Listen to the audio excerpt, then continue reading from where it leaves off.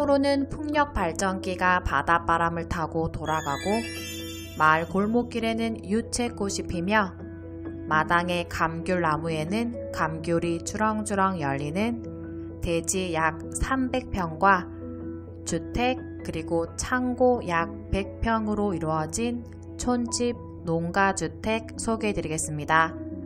안녕하세요 여러분의 인생부동산입니다. 늘 정직하고 성실하게 여러분께 매물 소개해드리겠습니다. 더하지도 빼지도 않은 있는 그대로 여러분의 눈과 발걸음을 대신해드릴게요. 마치 제주도의 작은 바닷가 마을에 위치한 주택 같지만 해당 주택은 비행기를 타지 않고도 차량으로 진입할 수 있는 전남 완도군 신지도에 위치합니다. 걸어서 1, 2분 거리에 남해 바다가 위치하며 고운 모래와 깨끗한 수질을 자랑하는 동시에 공기 비타민이라고 불리는 산소 음이온이 대도시의 최대 50배에 이를 정도로 풍부한 남해안의 최고 친환경 명품 해수욕장인 신지 명사 심리 해수욕장과도 가까운 곳입니다.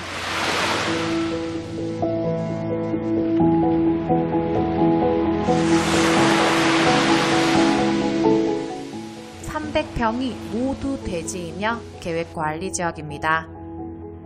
약 25평의 주택 본체 외에도 두 동의 넓은 창고가 있습니다. 또한 그 외에도 아주 넓은 텃밭도 있습니다.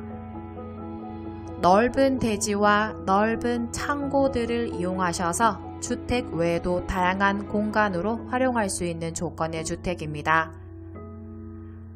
주택은 노출 석가래의 올 수리 된 촌집이라 크게 손보실 곳은 없습니다. 다만 수리한 지 시간이 좀 지났기 때문에 여기저기 잔수리할 곳은 있습니다. 수리해야 할 곳은 잠시 후 현장 안내하면서 설명해 드리겠습니다. 해당 촌집은 대지가 넓고 수리되어 있는 점들을 감안하여 매매가 1억 3천만 원에 나왔습니다. 계획하시고 계시던 위치와 금액에 적합하다고 생각하시다면 계속 시청해 주시길 바랍니다. 그럼 계속해서 해당 주택의 위치와 입지 조건 알아보겠습니다.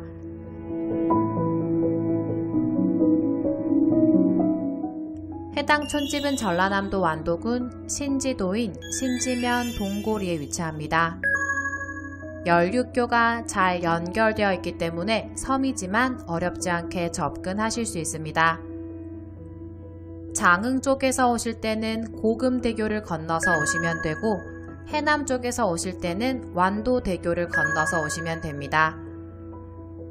해당 촌집에서 완도 군청까지는 약 30분 거리이며 마트나 은행, 관공서 등이 위치한 신지면 면 소재지까지는 약 10분 정도 소요되는 거리입니다.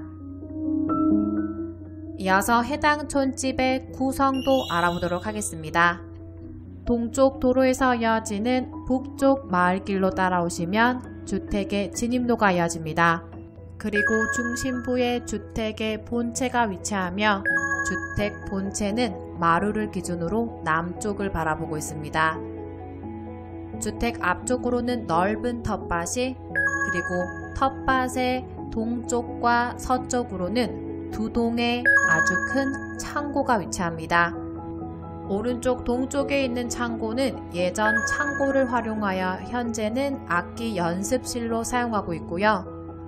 서쪽에 있는 창고는 예전 가축들을 길렀던 곳입니다. 현재는 깨끗이 비워놓은 상태입니다. 주택의 경계도 알아보겠습니다. 주택은 8m 도로를 접하고 있으며 주변으로 경계가 물리는 곳 없습니다. 보다 정확한 경계는 지적도를 확인해 주시길 바랍니다.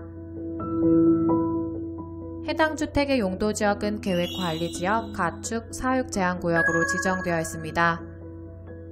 땅의 면적은 모두 대지로 991제곱미터 약 300평이며 주택의 면적은 주택과 두 동의 창고를 합하여 324제곱미터 약 98평입니다. 주택 단독만으로는 약 25평 정도의 규모입니다. 주택의 구조는 3개의 방, 마루, 주방, 화장실, 창고로 이루어져 있으며 그 외 두 동의 대형 창고가 더 있습니다.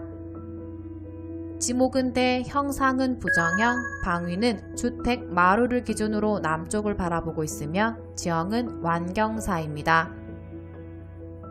주택과 창고의 구조는 철골조, 블럭조, 스레트 구조이며 준공 연도는 1994년 10월 22일입니다. 난방은 기름 보일러, 수도는 상수도 사용하고 있습니다. 대지의 폭은 동서로 약 35m, 남북으로 약 30m의 폭을 이룹니다. 입주 시기는 즉시 입주 가능하시며 입주 희망이 협의도 하실 수 있습니다. 주차 대수는 현재는 경계 내의 주차가 불가능한 상황이며 마을 골목에 주차하실 수 있는 부지는 많이 있습니다.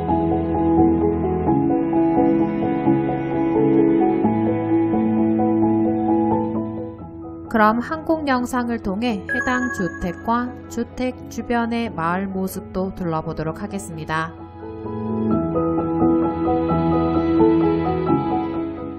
해당 주택을 기준으로 북쪽으로 약 50m만 걸어가시면 남해 바다가 위치합니다. 참고로 촬영 당시 시간이 만조때라 물이 많이 차 있는 모습입니다. 또한 해당 주택을 기준으로 남쪽 200에서 300m 아래쪽에는 고운 모래의 해수욕장도 있습니다. 주택을 중심으로 모두 도보 5분 이내 거리에 남해 바다가 위치합니다.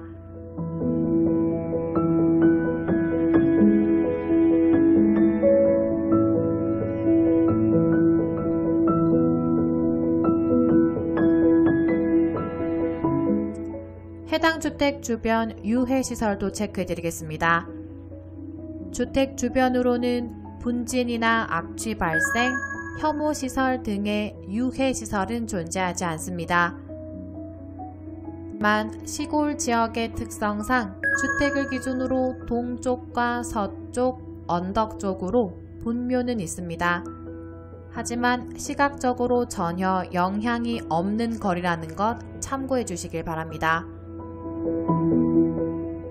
주택 주변으로 아주 큰 마을이 위치해 있지만 차량 10분 정도 나가셔야 기본적인 생활 인프라 해결할 수 있는 면 소재지가 위치해 있습니다. 그럼 아래로 내려가서 현장 안내 이어서 해드리겠습니다. 주택에 위치한 진입로이고요. 들어가는 마을길은 대부분 해당 주택 경계 내 속해 있습니다. 대문에서 오른쪽 동선을 따라 들어오시면 예전 축사와 창고로 사용했던 건물이 있습니다. 현재는 비워져 있는 상태입니다.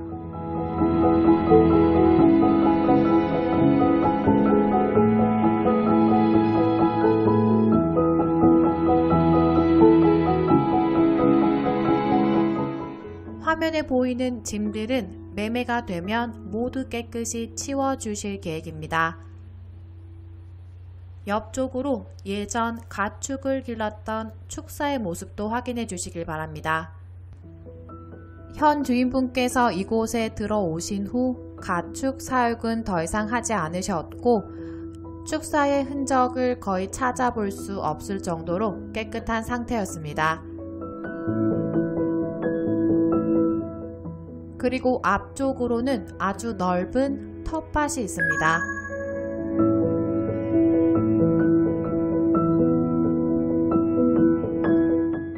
텃밭에는 여러 그루의 조경수가 식재되어 있고요. 특히 장독대 뒤쪽에 있는 대여섯 그루의 감귤나무에는 겨울철이 되면 수많은 감귤들이 열린다고 합니다. 반대쪽 동쪽에 위치한 창고 안쪽 모습도 확인해 보도록 하겠습니다. 총 4칸의 창고가 위치하고요. 첫 번째 창고 안쪽에는 악기 연주를 위한 연습실을 만들어 놓으셨습니다. 방음이 되는 공간으로 음악을 좋아하시는 분이시라면 유용하게 이 공간도 살릴 수 있을 것 같았습니다.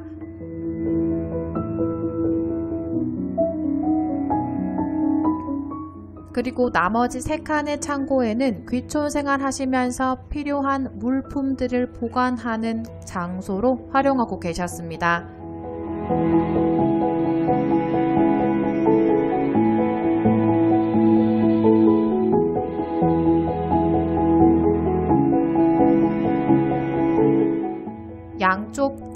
창고는 모두 전기 시설을 갖추고 있습니다.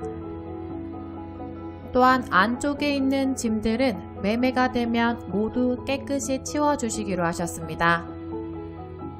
넓은 텃밭에서 바라본 해당 주택 본체의 모습입니다. 이제 이 본체 안쪽으로 들어가서 실내 공간도 둘러보도록 하겠습니다.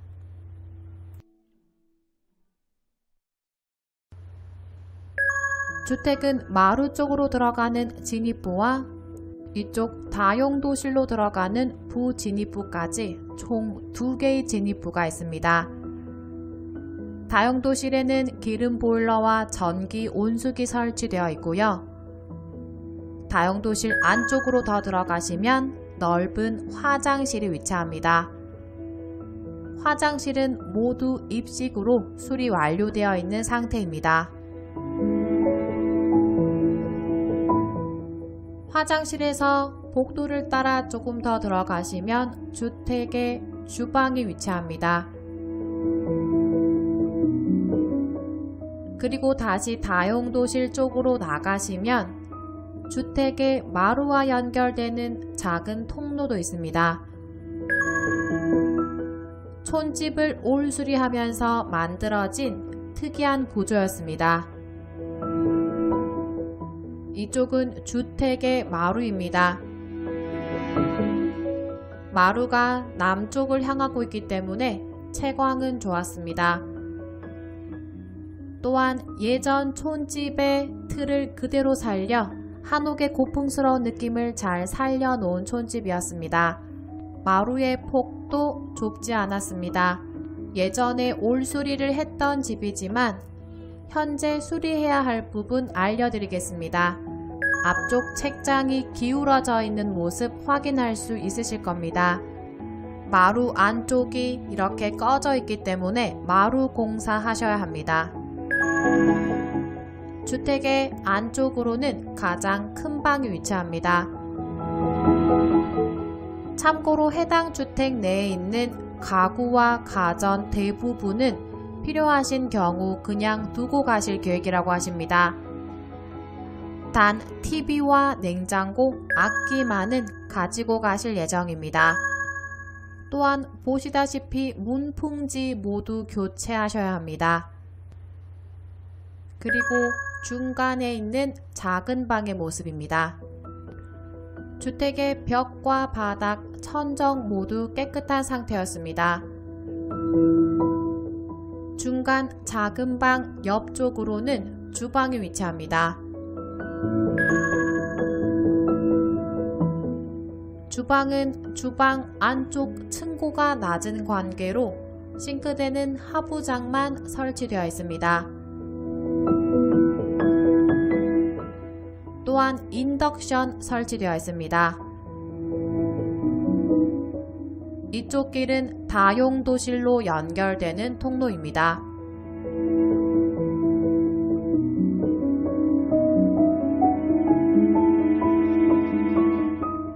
해당 주택의 마지막 방입니다.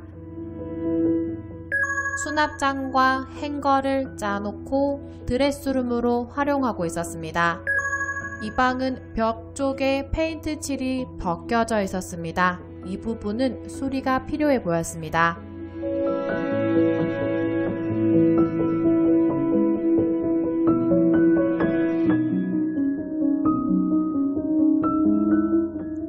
다시 화장실 쪽으로 돌아와서 해당 주택의 실내 모든 모습 둘러보았습니다. 주택 내에 있는 짐들은 모두 정리해 주실 계획이며 필요한 가전과 가구가 있으시면 그대로 두고 가실 예정입니다.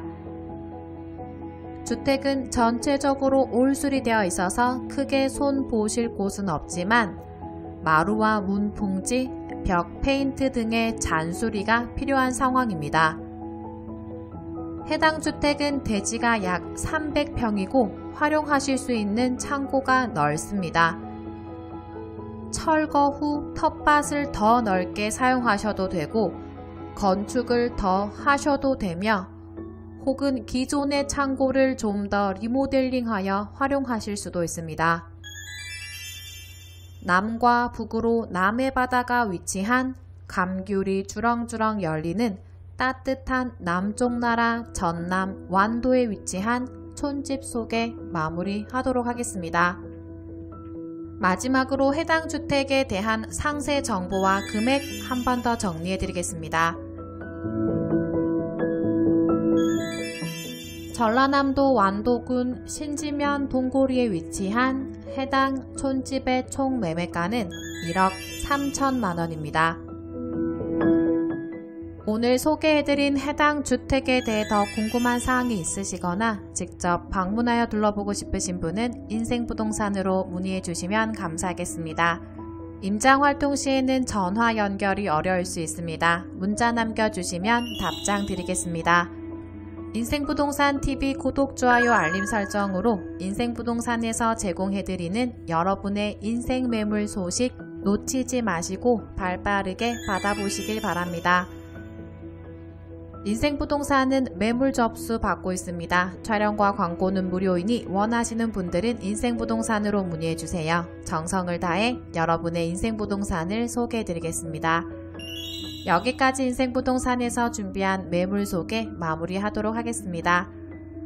여러분의 길에 행운이 함께하길 바랄게요. 이상 당신의 인생부동산이었습니다.